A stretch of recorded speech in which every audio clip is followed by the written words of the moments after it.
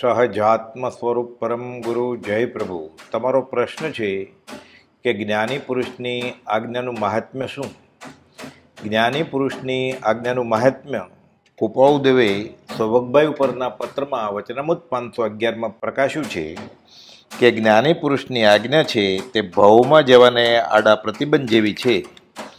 જ્ઞાની પુરુષની આજ્ઞાનું આરાધન એ સિદ્ધ પદનો સર્વશ્રેષ્ઠ ઉપાય છે. સહજાત્મ સ્વરૂપ પરમ ગુરુ. જે જે સાધના જે પુરુકારે કર્યો છે, તે તે સાધન જ્ઞાની પુરુષની આજ્ઞાથી થયા ગણાતા નથી. અનાધિકારથી જ રખડતો છે. સુખને માટે ફાંફો મારે છે. પણ એ ભાન નથી, એટલે એની બધી મહેનત છૂટી પડે છે. જ્ઞાની પુરુષ બતાવે રસ્તો અને રસ્તે જાય તો સુખી થાય. બાકી એ ગમે તેટલું રખડશે, ગમે તેટલું બળવાન પ્રયત્ન કરશે, પણ એ સાચો માર્ગ પોતાની વેળ નહીં મળે. ભૂમિયા વિઘન શું થાય? એવા ભૂમિયાની જરૂર છે. અને પોતાની મેળે સાધન કરવાથી ઉલટો વધારે રખડ્યો. બીજા સાધન બહુ કર્યા. કરી કલ્પના આપ. અથવા સદગુરુ થકી ઉલટો વધ્યો, ઉતાપ. દુઃખ, દર્દ, શરીરનું. એને મટાડવા આજે પોતાની માટે પ્રયત્ન કર્યા. કંઈક દવા પીધી, કંઈક ચોપડી ગઈ ગચી, પણ ન મટ્યું, કારણ કે દવા કઈ, રોગ કઈ જાણતો નથી. અને ગમે એમ પ્રયત્ન કર્યો. વળી શોધતા કુકરું મળ્યા. એટલે ઊંટ વૈદ મળ્યા. એને દવા કરતો ઉલટો રોગ વધ્યો. સાચા પુરુષ મળે, એના કયા પ્રમાણે ચાલે, તો સંસારો મટે એમ છે. એની મેળ થતા તરી ગયો હોત. એટલે કે આજ સુધી બધા સાધન તેના અવળત કર્યો છે. રોકે જી સત્ય તો પામે અવશ્ય મોક્ષ. જ્ઞાનીનું કવિ નથી કરતો પોતાને આપણે ચાલે છે. અને એમ અનાધિકારથી ચાલતો આવ્યો છે ચાલશે, પણ મોક્ષ નહીં મળે. જે જે સાધના જીવે પુરુકારે કર્યો છે, તે તે સાધન જ્ઞાની પુરુષની આનાથી કર્યો જણાતો નથી. એની નજરે સાતમાં દેખાતા સાધન પણ જૂઠું હોય છે. કે એને ભાન નથી. આમ કરું. પણ તને ભાન નથી, અનુભવ નથી, તારી માટે શું કરવાનો? જ્ઞાની દેખાય, દેખાડ તેમ કરે. એ ખાતાનો જે અનુભવી હોય, એનું કયું કરવું પડે? પોતાની મેળે ન ચાલે. અનુભવીની જરૂર છે. અને અનુભવી મળે તો અને રસ્તે જાય તો કામ થાય. શું? નિર્દોષ? નરનો કથન માનો, તે જાણે અનુભવ્યું. અનુભવીનું કયું કરું. આ તો પોતાનો અનુભવ નથી અને દેખાનાનું કયું કરવું નથી. અભિમાન વર્તે છે. એ મન દેખાડનારો. બટક. ઓંધળો પોતાની મેળે માને, હું બધું દેખું છું. મને કોઈ દોરશો ના. તો ઓંધળો ખાડામાં પડે. ગાડામાં પીતાય. વાડમાં પડે કોટા વાગે. કેમ? પોતાને દેખાતું નથી અને દેખતાનું કયું કરવું નથી. આ જીવ સ્વચ્છંદ છે, સ્વચ્છંદે જ વર્ત્યો છે. પાછો ખરું ખરું નથી થતું? ઊંધું પડવાનું. આજે જો પોતાના કયાથી પોતે ચાલતું હતો એનાથી કોણ હતો આત્મા? કેમ રખડ્યો? વિના ભાન ભગવાન. અને ભાન ક્યારે આવે? સેવ્યા ને ગુરુ સંતને સંતને સેવે તો જ્ઞાન આવે. પોતાની માળે કરે પાછો કહું, ખરું કહું, ખરું નથી તો ઊંધું થાય. જે દે સાધન આ જીવે, પુરુકાળે કર્યો છે, તે તે સાધન જ્ઞાની પુરુષની આજ્ઞાથી થયા સાધન બાર અનંત જીવો. સૌ સાધન વંદન થયો. એ વાત સંદેશા રહીત લાગે. તો એમ થયું, હોત તો જીવને પરિભ્રમણ ન થતા તે મોક્ષ હોત. સાચો માર્ગે રહ્યો. જ્ઞાની પુરુષની આજ્ઞા છે, તે ભવમો જવાને આડા પ્રતિબંધ જેવી છે. જ્ઞાનીની આજ્ઞા પાડે એને સંસાર રખડવો ન હોય, બીજ પડી ગઈ.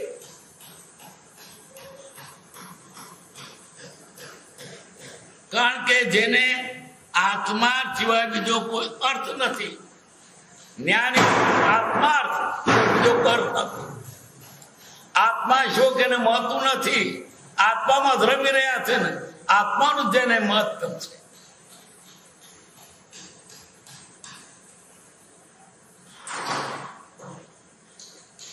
અને આત્માર્થ પણ સાદી પ્રાપ્તવશાત જેનો દેહ છે. અને તે વિતરે છે પણ પ્રાપ્તવશાત. વિતરે ઉદય પ્રયોગ. એવા જ્ઞાની પુતની આજ્ઞા તે ફક્ત આત્માર્થમાં સમાજને પ્રેરે છે. એનું આપવિત થાય એ રીતે તેને પ્રેરે છે. આ રસ્તો જા, તું સુખી થઈશ.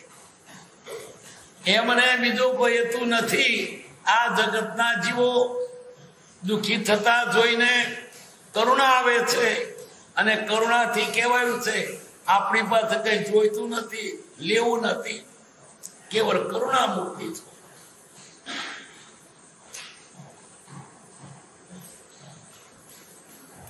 અને આ જીવે તો પૂર્વકાળે કોઈ આત્મા જાણ્યો નથી. જાણ્યો નથી ક્યાં જવાનો? ભૂમિઓ મળે તો કામ થાય. ઉલટો આત્માર્થ વિષ્ણુપૂર્ણે ચાલ્યો આવ્યો છે. અવળી દિશામાં ચાલ્યો છે. આત્માર્થ વિસરતો ગયો છે. સ્વરૂપથી દૂર નાઠો છે. તે પોતાની કલ્પના કરી સાધન કરે તેથી આત્મા ન થાય. તારી મેળે કુલ થાય. જણ કે સ્વરૂપ અવળું થાય. ઉલટો આત્મા સંપૂર્ણ ચાલ્યો આવે છે. તે પોતાની કલ્પનાએ કરી, સાધન કરે, તેથી આત્મા ન થાય. અને ઉલટું, આત્મા સાધુ છું, એવું દુષ્ટ અભિમાન. ઉત્પન્ન થાય. ખોટે રસ્તે જાય છે અને પાછળ સાચો માને છે. એને ક્યારે નીવડો આવે? એને ગંતવ્યસ્થાને ક્યારે પહોંચે? કે રસ્તો દવડો પકડ્યો દેખાનાનું કયું માનતો નથી. એને દોડ્યો જાય. એટલે ઊભો રે. ઊભો જ રહેતો નથી. કયું માનતો હું તો મારે દોડ્યા જ કહીશ પણ કઈ દિશામાં?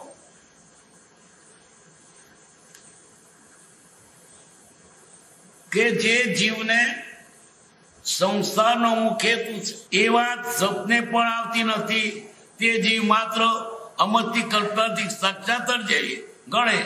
તો તેથી કલ્યાણ ન થઈ શકે. પાછું માને પણ સાક્ષાત્કાર થઈ ગયો. હું સમજી ગયો.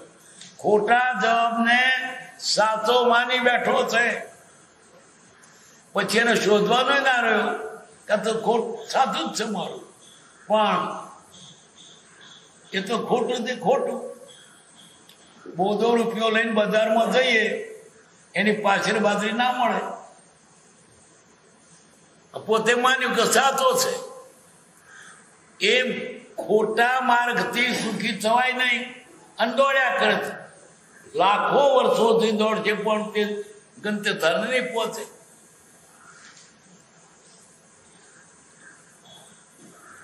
સાક્ષાત્કાર જેવી ગણે તો તેથી કલ્યાણ ન થઈ શકે એમ આ જીવ પૂર્વકાળથી અંધ ચાલ્યો આવતો થતો પોતાની કલ્પનાએ આત્માર્થ માને તો તેમાં સફરપણ ન હોય. એ સમજી શકાય એવો પ્રકાર છે. એટલે એમ તો જણાય છે કે જીવના પૂર્વકાળના બધા માટે સાધન, કલ્પિત સાધન મટવા અપરોગામ સિવાય બીજો કોઈ ઉપાય નથી. આજ સુધી અવળા સાધન ઊંધા કર્યા, એનાથી રખડ્યો, તો એ રખડપટ્ટી ક્યારે માટે? સાચી સમજણ આવે તો સાચું સાધન પકડાય. એ સમજણ કોની પાસેથી આવે? જ્ઞાની પાસેથી. પૂર્વના જીવના પ્રોકાળના બધા માઠણ સાધન, કલ્પિત સાધન, મટવા અપરો જ્ઞાન સિવાય બીજો કોઈ ઉપાય નથી. અને તે અપૂર્વ વિચાર વિના ઉત્પન્ન થવા સંભવ નથી. અપૂર્વ જ્ઞાન ક્યારે થાય? અપૂર્વ વિચાર થાય ત્યારે.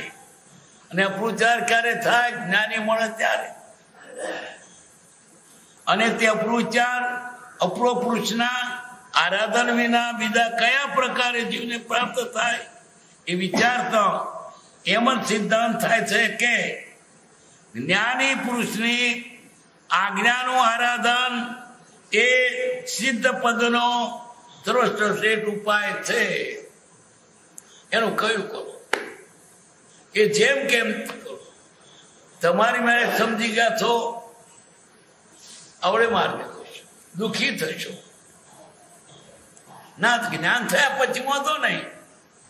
પણ જો આવડતું નથી, ના પણ કરો, કયો ચાલે?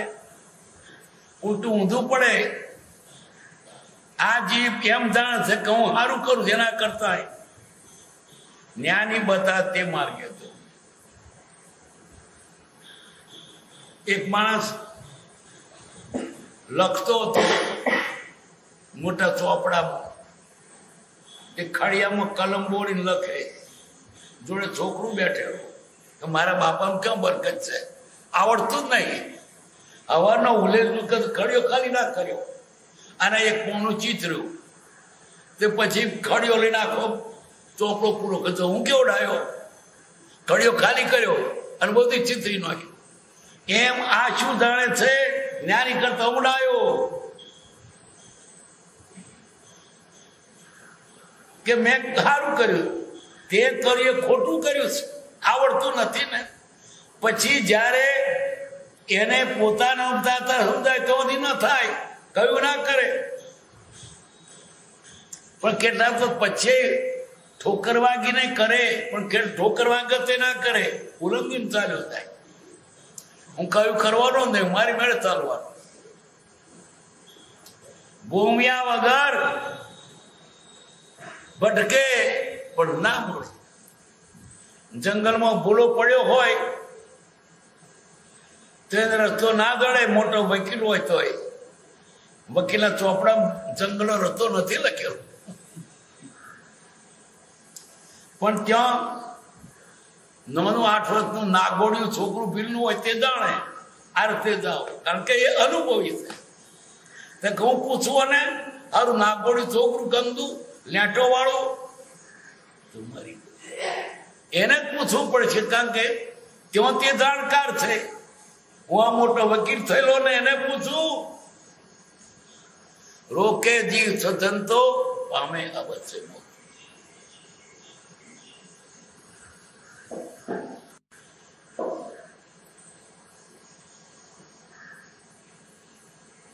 પુરુષની આજ્ઞાનું આરાધન એ સિદ્ધ પદનો સર્વશ્રેષ્ઠ ઉપાય છે. અને તે વાત જ્યારે જીવથી મનાય છે, ત્યારથી જ બીજા દોષનું સમૂહ નિવડતું શરૂ થાય સહજાત્મ સ્વરૂપ પરમ ગુરુ.